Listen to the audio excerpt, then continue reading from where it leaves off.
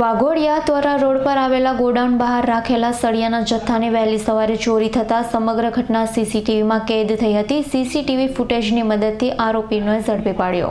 Waghodia માડોઘર road વિસ્તારની સહજાનંદ સોસાયટીમાં રહેતા વેપારી બ્રિજેશભાઈ હરિચંદ્ર ગોસ્વામી જથ્થાબંધ અનાજના મોટા વેપારી છે. તવરા રોડ પર ચાર મહિના પહેલા તેઓએ બીજું ગોડાઉન બનાવ્યું હતું. ગોડાઉન બહાર આશરે ત્રણ ટન સ્ટીલ સળિયાનો જથ્થો મૂકેલો હતો.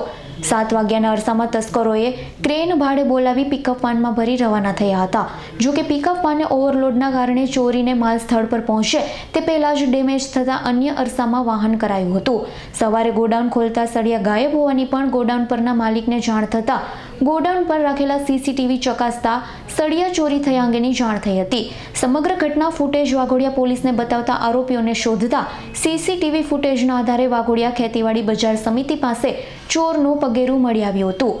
આઈસરમાં સ્ટીલભરી બજાર સમિતિની ઓફિસમાં બાજુમાં બપોરે સાડા બાર વાગ્યે ઠાલવી ગયાનું ઓફિસર પર રહેતા લોકોએ જણાવ્યું હતું. ઓફિસ પર લાગેલા સીસીટીવીના આધારે પોલીસે સમગ્ર ચોરીની ઘટનાનો ભેદ ઉકેલી આરોપીઓને ઓળખી કાઢ્યો હતો. સમગ્ર ચોરીની ઘટનાને અંજામ આપનાર વાઘોડિયા નાની ભાગોળમાં રહેતા પેન્ટર સાથે કલરકામનો વ્યવસાય કરતો સંજયભાઈ મહેન્દ્રભાઈ પંચાલ ઉર્ફે સંજય પેન્ટરનું કારસ્તાન હોવાનું ખુલવા પામ્યું હતું.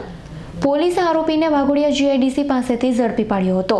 વાઘોડિયાનો સંજય પંચાલ ચોરીના રવાડે ચડિયાનું જાણ સમગ્ર નગરમાં થતાં કિસ્સો ટોક ઓફ ધી ટાઉન બન્યો હતો. ચોરીના રવાડે ચડેલ સંજય પંચાલની પોલીસે સખ્તાઈથી પૂછપરછ આરંભતા અન્ય કેટલી ચોરી કર્યાની કબૂલાત સામે આવી છે. ચોરી બાદ વચેલો માણસ કોણ, કોને પધરાવતો હતો? ચોરીમાં અન્ય કેટલાક સાગીરીતાઓ સાથે ચોરીને અંજામ આપતા હતા. વગેરે વિગતોની કડી પોલીસ મેળવી રહી છે. મહત્વની વાત છે કે સંજય પંચાલનું નામ પોલીસના ચોપડે ચડતા જ નાની મોટી નગરમાં થયેલી ચોરીના ભેદ ઉકેલાય તેવી સંભાવના પોલીસે વ્યક્ત કરી છે. સંજય પંચાલની ધરપકડ બાદ તેની સાથે સંડાવાયેલા પોલીસે પણ શોધખોળ આરંભી છે. Bajrang શર્માનો report S nine news Vaghodiya.